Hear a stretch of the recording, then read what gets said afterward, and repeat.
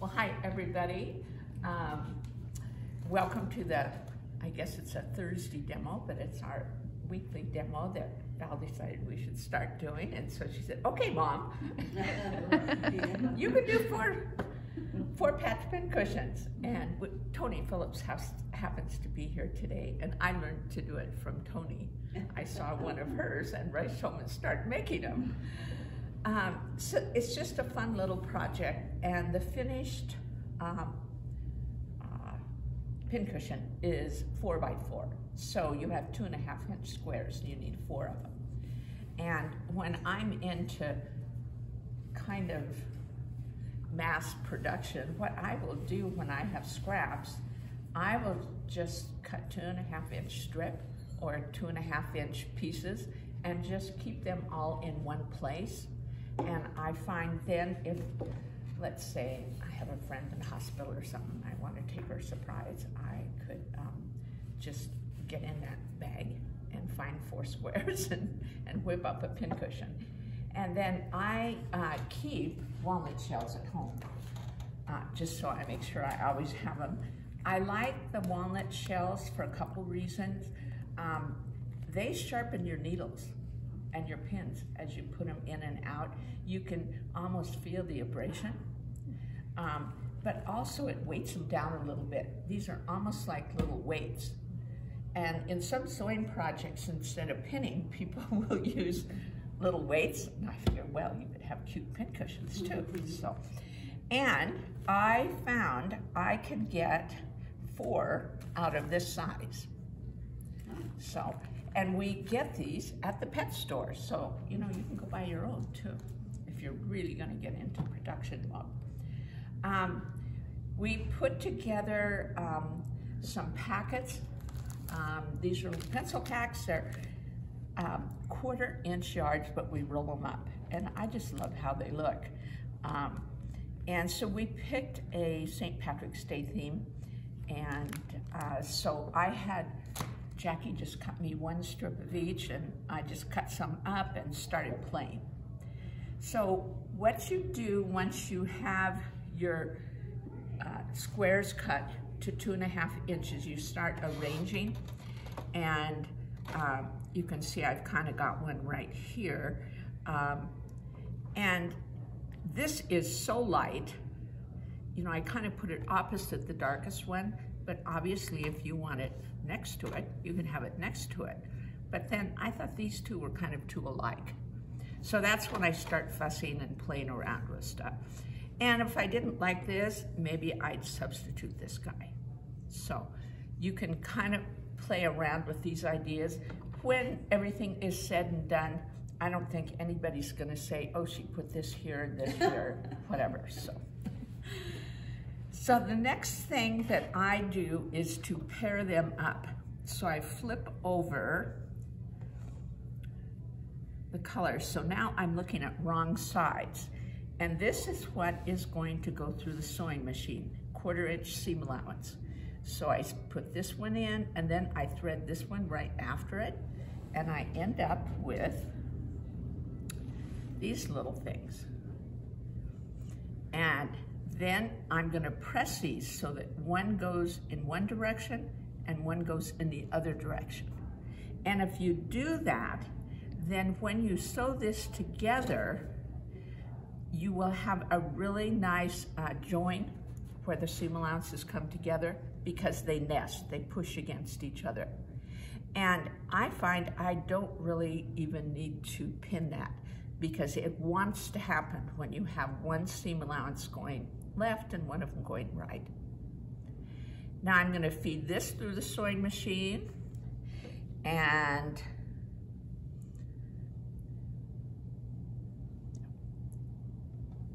now I've got my four pieces and I press and I like to press after each seam. I, I think it just comes from doing years and years of sewing and uh, used to be people would fuss about pressing. I think it's just part of the deal. and I use a steam iron because I like to get things nice and flat. So now I have my four patches together and I put them on a background fabric and I'm going to stitch around this and leave an opening that's about an inch and a half. And that isn't very much, but it's really all you need when everything is stitched around, you know, it's this big and it just needs to be large enough to turn this to the right side and then to stick my funnel in to put in my, my walnut shells. So at this point, um, and I forgot to bring my point turner, so we'll just do it the old way with my finger here. Probably just as good. I don't need a point turner. now, when I, before I turned these, I did um, trim off the little corners because then you won't have as much bulk in the corners. I do need, though I should have had a, a chopstick or a pencil. Or a pencil or something. I'm kind of getting my finger in there, so. I have this, you can just use the end here, Oh, Jean, if you want. wow, Tony, thank you. Good thing you showed up. A pen. And you notice that we aren't using the ink next to the fabric. There is the little uh, cover that goes on the end. And you just kind of push it out a little bit. And I always back tack when I uh, start and stop when I'm stitching around. If you don't back tack, there's this chance that when I stuck my finger in here, I can start ripping it apart. And it's come apart a little bit here, but it's going to be just fine when I sew it. Now, I'm gonna go press again because I like to get these guys pressed in, the seam, seam allowance. And it will look like this. And here's my little opening. But it's nice and flat. Now, um, I had a bad experience with um, spilling walnut shells right beside my sewing machine and the throat plate. And I thought, oh, gee. So I now have a system. I actually have a, a larger clear plastic bag that I leave these in. And so I do my filling right in the plastic bag. So I'm dipping out of the plastic bag, pouring them in, everything's in the plastic bag. So save a plastic bag or a little tub or something. So I've got my funnel, and this is just a funnel I got, you know, at the hardware store. And I have a little cup, and I find that um, I don't want to fill this too full because then, you know, if you get it too full, it takes a while to shake it down. And I'm gonna have to get enough in here. So once I get to this stage and there's a little bit here, all poofy, I start pushing like this to the corners because I want these to fill really well. Here, why don't you pass this one around?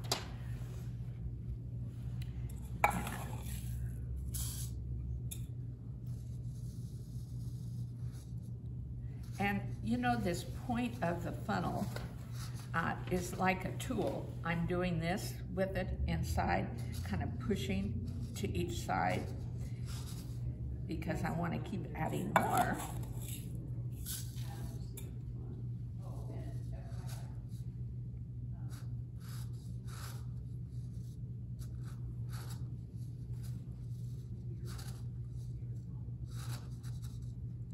Now, this is how much I have left. There's about a half inch up here, and I'm gonna hold the opening closed, and I'm gonna push now out here.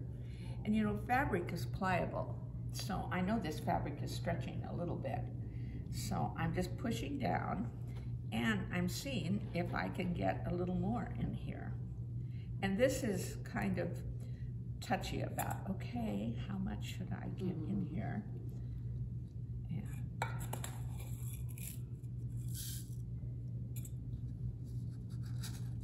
And I'm kind of pushing to the corners. And I am really close. So what I'm gonna do now is set this aside and show you what I do next. So I can pinch the corners a little bit, but I know once I have to sew this shut, this will push up into the corners. So I'm gonna set it in here so they don't all spill. And I have taken and um, put a pin across where I'm going to sew. And I have a single thread and a knot in it. Yep, there's my knot. And I do a whip stitch, which means I'm gonna come through first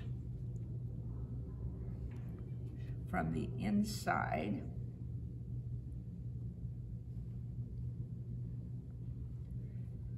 and I want to make sure my thread, the tail of it is inside. So remember that your needle is a tool. So you can push that down a little bit. And then I take a stitch through both of them and I just take little stitches. And this is a whip stitch because what I'm going to do is whip it over the top of the seam allowance each time as I take a stitch. And I would say they're an eighth inch apart at the most. So they're pretty close because you don't want any of those walnut shells sneaking out later.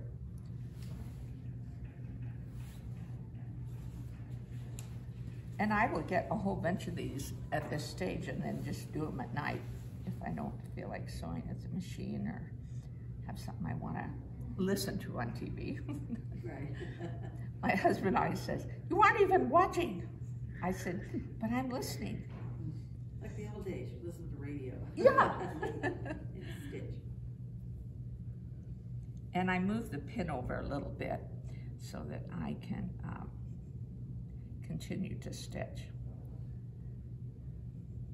So I'm not gonna go ahead and finish that, but maybe you can get up here close, Trish, and I don't know if they can see this, but you know, see how the thread's coming over the top? Then I take another stitch. There we go. And when I get to the end, I will tie a knot and then tie it again. And then I put my needle in the pincushion and pull it out a couple inches away so the tail of the thread gets hidden inside the pincushion. I always like things to look tidy when I'm all done. Now, um, one of the things I like to do is to um, put a button in the middle or a um, these little pom-poms. We had some left over from Christmas, so that's what I'm putting in. But I will hold in the middle here and make sure that my walnut shells are to the corners. And it's amazing how they really fill up those corners. And what I do this time though, I need a different needle. I need my embroidery needle and it needs to be a little bit longer because I'm gonna come up from the back or I can start at the front. I think I'll start at the front because I can see better. Now, my finger's under here, so I move it as soon as I know I'm coming through. What There we kind go. of thread are you using? You- Just sewing thread, but you know, I, there's all the different weights of sewing thread. I use the heavier. Yes. strong. And you know what I used to use all the time was Coats and Clark quilting thread because it's waxed. Mm-hmm. And I think it's a little stronger, but I can't even find that anymore in stores. And I haven't asked Annette to look for it, but, okay, now I'm gonna come up.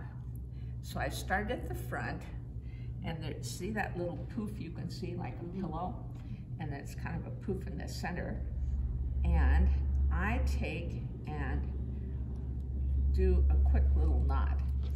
Then I'm going to put my needle through this ball and set it on here.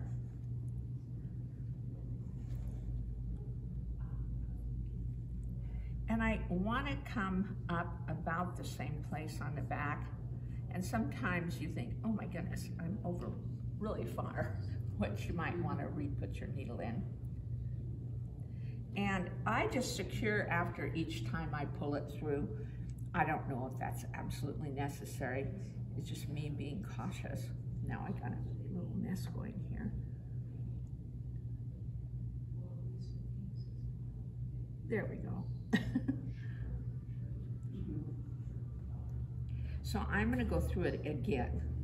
So I like to make sure it's really there for the long haul. And you know, I could have used green thread. I'm just thinking now, since this is for St. Patrick's Day, Mhm. that would have looked cute.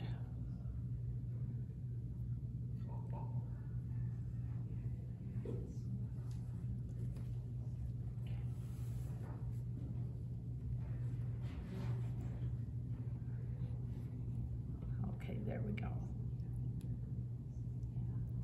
And um, actually, I should have brought, I was cleaning out my sewing room and I found a little stash of pincushions. and I had um, used a button in the center and instead of going back and forth this way, I went around and then around came back to the center when I did the buttonhole. So this is, my knot's pretty good there, so I'm gonna come to the right side. Then I will cut it off. So I'll just pull this ni nice and tight and cut it off. So it'll be all done. So cute. Yeah. It's just the greatest. It is fun, so I hope you enjoy it. Possibilities. Thank you. Yeah, in fact. I thought will just give each one of you a little pincushion. Oh. oh, my goodness. Yeah, and then I'll stuff the rest of these for Jackie, Sorry. Oh my goodness, thank you. Thank you Beautiful. so much. Very inspiring. Thank you. That was unexpected. Thank you. So Happy St. Patrick's Thank Day. That's you. lovely. The luck of the Irish in us all. That's right. We will call it Right place, Irish right somewhere. Oh, this just made my day. Thank Yeah. you. Thank Okay, you. well, the snowy day and I much. had, Yes. It's beautiful. God, I don't even know if anybody will wanna come in all this snow, so thank you for coming.